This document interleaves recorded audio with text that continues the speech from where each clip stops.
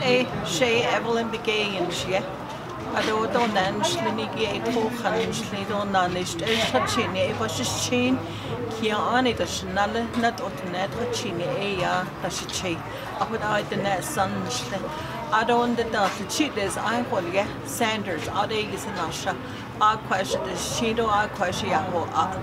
A do dis nanis insanigi é ja ناليه التراس اي يدي التراس اي اي يا اكيتاش نليو دا دا اي ايتاش ايش ايش انا هني اروند دا اي دا ان لي انس دا شما داش خلو بابا نيزي ساني يكيدا هات انيجي دا تايبا دا يجاهو ناش خلو يا اي دا دا بابا نيزي ارو بخانا شوو a a a de pohosha the net sun be a a asho pohosha ko dishjid a ya a shnanish insen aro شاوت دنیگی شج کیرو نگه ایرو یهودی لآ ایرو هد آبنان شیوس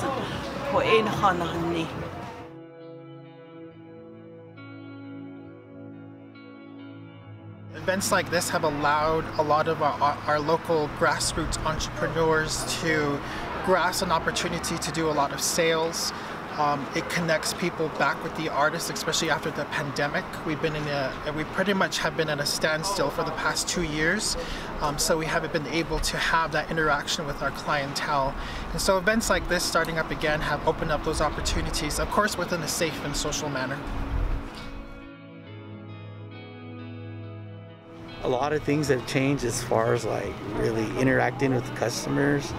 Um, before I, you know, I, I'd sit down with the customer and actually uh, come up with designs and work with them side by side. But you know, with the pandemic, uh, it's it, now I just be like, you know, just draw it on paper and take a picture of it and send it to me, so I have an idea what I'm gonna do. So it's affected it in that way when they actually opened up the uh, flea markets on the reservation, it was such a blessing for us because we were hurt so bad for cash and so bad for business. It was, I mean, like we're a new company too, this, and it, it affected us. So.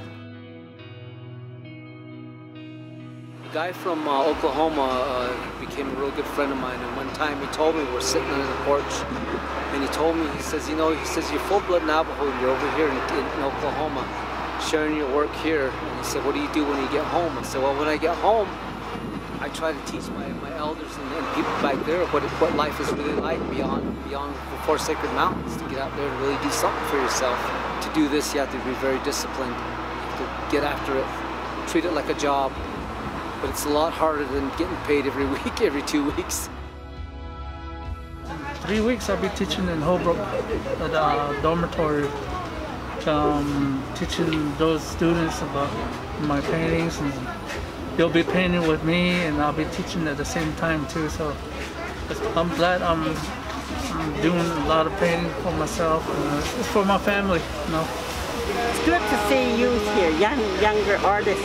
It's good for them.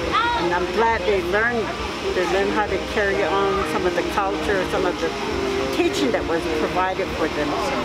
I encourage people to buy Navajo, buy local, and resource your local resources before looking outside of the reservation. This year has taught us a lot to stay grounded and to stay local. And I understand the, the areas of where we don't have those needs to meet, but we're getting there. We're getting there and our people are finally learning and accepting and have also adapted to the changes that have happened here throughout Navajo. So I just um, hope that you know we were able to continue to do this with the organization that is sponsoring. If this could be something more on a regular basis. Thank you for Navajo Nation Museum staff for putting all this up for local artists. We look forward to any type of venue to market our art